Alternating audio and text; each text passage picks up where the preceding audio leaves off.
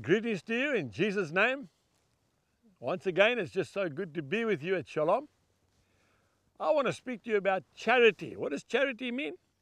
Charity is another word for love. Charity begins at home. We all know that, um, that cliche. Love starts at home.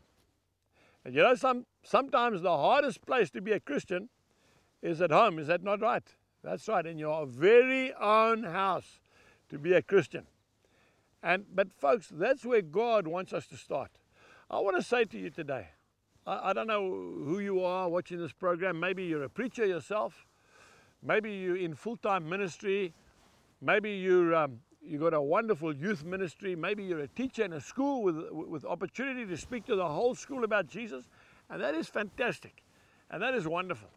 But I want to say, never at the cost of neglecting your family. Charity begins at home.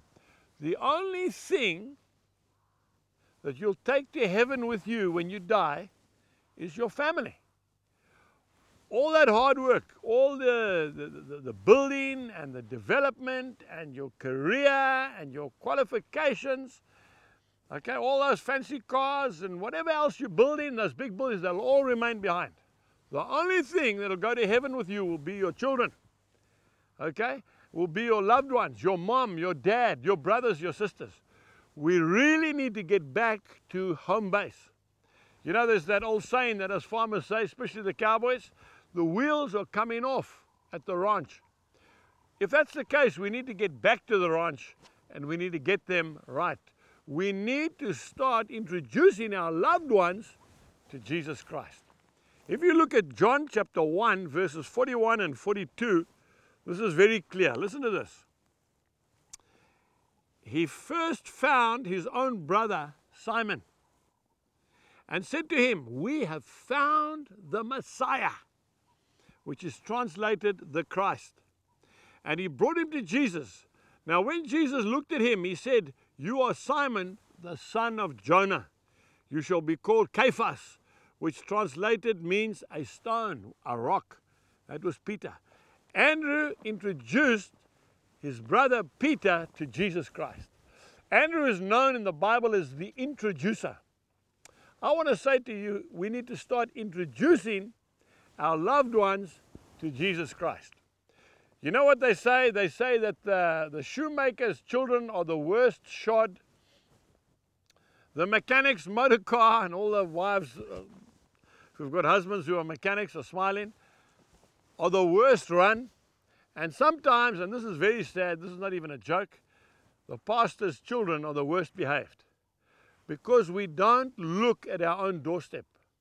And I want to tell you, a lot of people, folks, don't serve God because they see from the outside what's happening on the inside.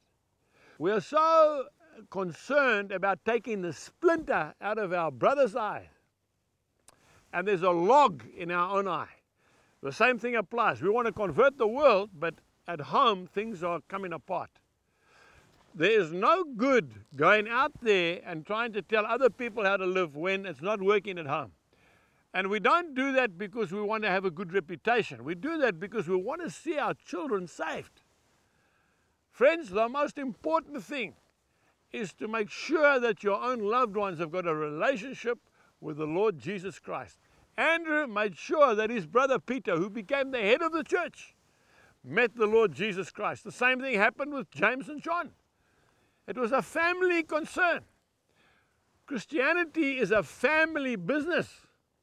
It's not a, any other kind of organization. You go to any church, you'll see that the pastor or the minister and his wife and their children and their relatives are probably the core of that church. It happens.